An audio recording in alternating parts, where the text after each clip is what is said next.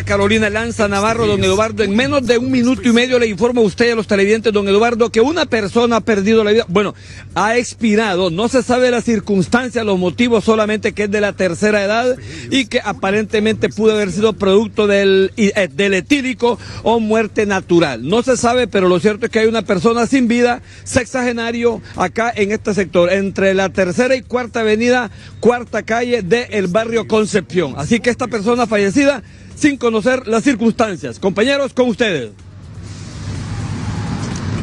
Bueno, eh, muchas gracias, compañero eh, Ernesto Alonso Rojas. No tiene nombre, Ernesto. Solo, es un señor, dice que ha quedado muerto ahí en el barrio Concepción en San Pedro Sula. Tal vez determinamos las causas, porque para morir en cualquier lugar es bueno. ¿Mm? Él murió en la calle. Eh, no hay nombre todavía, Ernesto.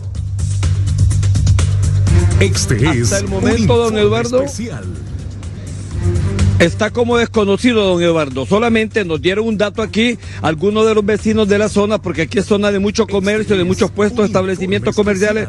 El dato que nos dieron, no sé, habría que confirmarlo, verificarlo, que es una persona que se dedica a hacer mandados, a alar bultos y que lo hacía a cambio de que le regalaran un trago. Eso es lo que nos ha manifestado uno de los propietarios de uno de los puestos de aquí. Él hacía mandados, era como un conserje aquí de la zona a cambio de un trago de alcohol. Por eso es que creemos, creemos, no lo estamos afirmando que podría ser producto del etílico o muerte natural o un paro del corazón.